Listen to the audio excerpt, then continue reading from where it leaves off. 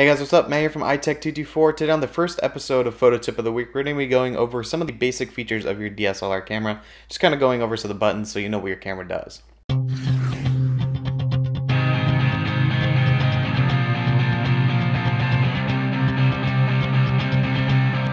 So of course not every camera is the same, there's going to be differences between each one, but there's some things that every camera has that you need to know about. Now this is mainly going to be about DSLRs because that's what I have, that's what I use, but this is going to apply also to some Micro Four Thirds cameras that also have manual controls or some more advanced point and shoot cameras that have manual controls as well. If you have your basic $200 point and shoot camera, none of this is really going to apply because mainly those cameras only have automatic features. So let's go ahead and get into it. Now aside from your general memory card opening or battery slot, we're going to go ahead and talk about some of the buttons and what they do.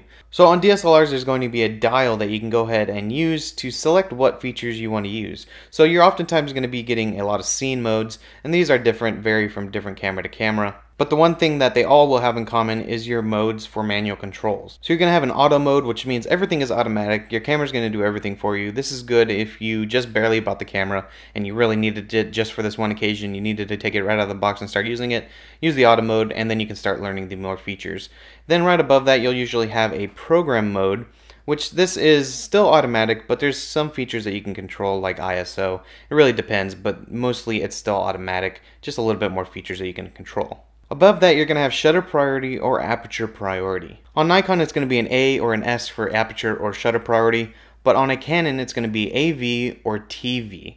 TV is going to be for shutter priority, and AV is going to be for aperture priority. So just keep that in mind when you're looking at your dial. Now moving away from the dial, you're most likely going to see something that either says LV or is a switch or just a button that has a screen on it. Now this is going to be able to make you go into live view. Now live view lets you see on the screen what your camera is capturing currently. So it's going to be more like a typical point and shoot so you don't have to look through the viewfinder all the time. Also if you have a newer camera you're most likely going to see a button with a red dot and that is where you go ahead and click to record video. You're also going to have a button that has a play button on it. You're going to want to click that to go ahead and review some of the pictures that you have on your device. While you're looking through that, you can go ahead and click the trash button, and that's how you're going to be able to delete some of the pictures. Now, if you look on the top of your camera, you'll see that there is a flash, and you might be wondering how you actually open that up. Usually right below it, you're going to see a button with a little lightning bolt on it. If you click that, it's going to pop up the flash, and you'll be able to use it. Also, somewhere on the camera, you're going to see a button that has FN on it. This means function, which means if you go into the menu settings of your camera,